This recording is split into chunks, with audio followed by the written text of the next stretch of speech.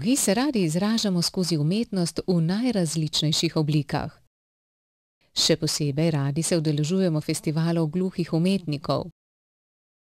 Eden največjih festivalov gluhih v Evropi je Clan Day v Reims v Franciji. Direktor tega festivala, David De Keyser, je ljubitelj umetnosti in znakovnega jezika. Kretnja za njegovo ime je takšna, ker je v mladosti vedno uporabljal klobuk.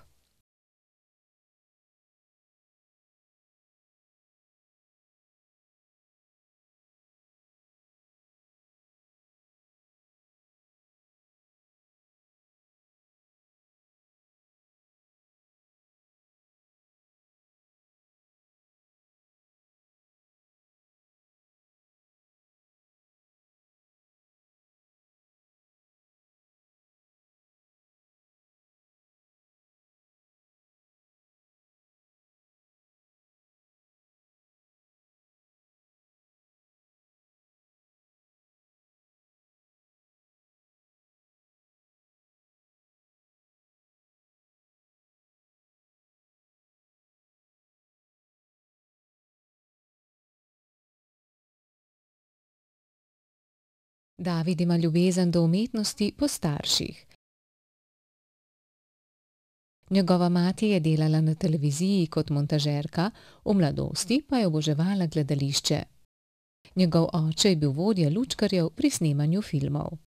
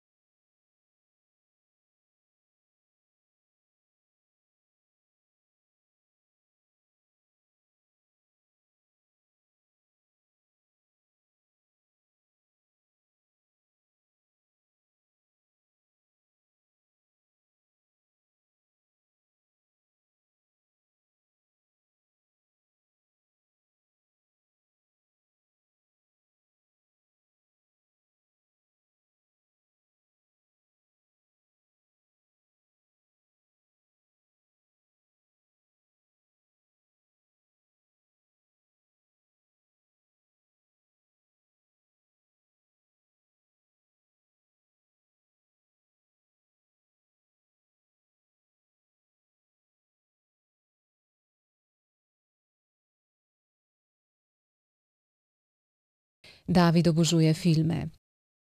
Najraje dela dokumentarne filme, ker lahko prikaže resnične ljudi v resničnem življenju. Obožuje tudi umetnost, ker v umetnosti ni rutine.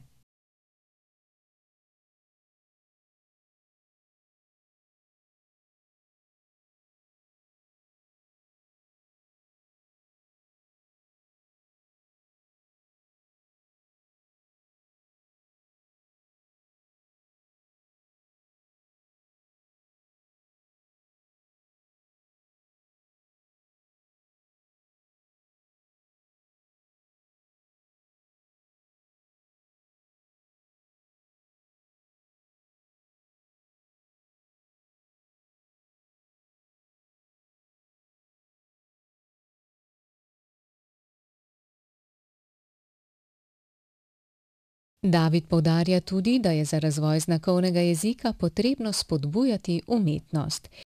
In ravno to je eden od razlogov za nastanek festivala Glandej. Festival so prvič organizirali leta 2003.